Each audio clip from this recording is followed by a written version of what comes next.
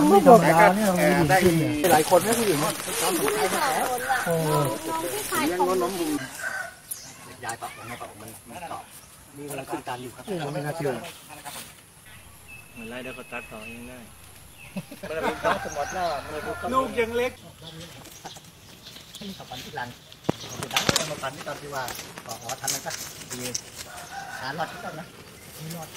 ของบ้านเราที่เป็นผู้หญิงขึ้นได้เป็นแบบ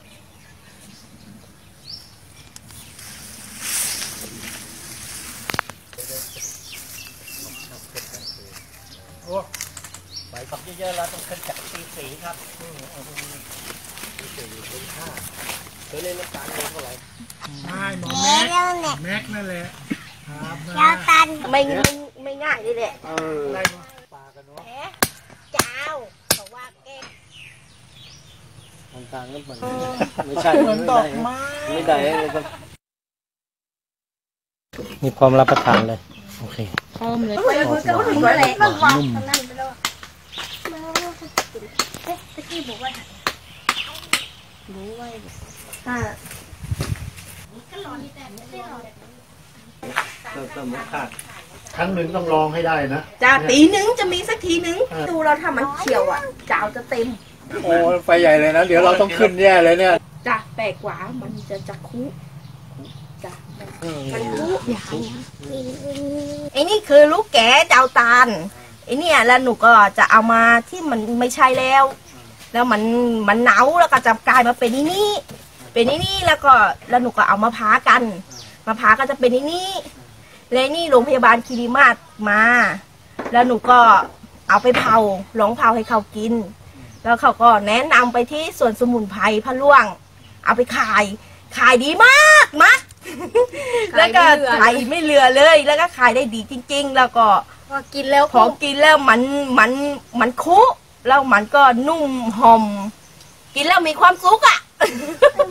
ต้องแล้วอืมมันต้องฝัดมันหน่อยนะเขาเนี่ยให้ได้น้ำพัดชอบจะเอาหัวหรือดังครับปลานี่สารพัดประโยชน์เลยนะครับ นี่คือดั้งตาลหรือหัวตาลนะฮะเอาไปต้มจิ้มน้ำพริก หรือไปแกงบวนนะครับ นะฮะหรือจะทานสดก็ได้นะฮะอร่อย นี่เรามาลองชิมนะครับจาวตาลเผานะครับ ชาวบ้านบอกว่าเป็นอาหารแห่งความสุขครับ กินแล้วจะมีความสุขนะครับ อันนี้เรามาลองชิมนะครับ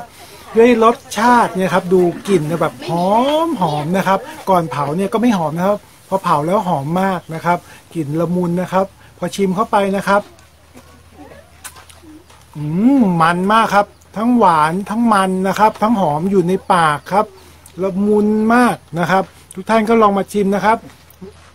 ปีหนึ่งมีแค่สองวะสองเดือนเองนะครับ แล้วขายที่เดียวครับที่สวนสมุนไพรพะล่วงนะครับ ที่ทางขึ้นอุทยานแห่งชาติเขาหลวงนะครับ นอกจากที่เราจะแปรรูปมาเป็นน้ำตาลตโนดแล้วนะครับ เรายังทำเป็นน้ำตาลปึกนะฮะซึ่งซึ่งมีรสชาติที่หอมหวานมีประโยชน์นะครับ ในภูมิปัญญาของชาวบ้านนี่เรายังเรายังมีเมนูพิเศษนะฮะซึ่งหากิน